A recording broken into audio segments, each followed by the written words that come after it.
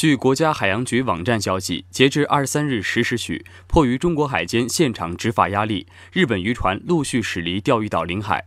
中国海监的维权执法行动，有力地挫败了日本右翼分子的企图。目前，中国海监编队仍继续在钓鱼岛领海内巡航监视。八十多名日本右翼分子二十三日清晨乘十艘船只抵达钓鱼岛附近领海，声称进行渔业资源研究。去年，来自这一团体的右翼分子曾以相同理由乘船到钓鱼岛附近海域。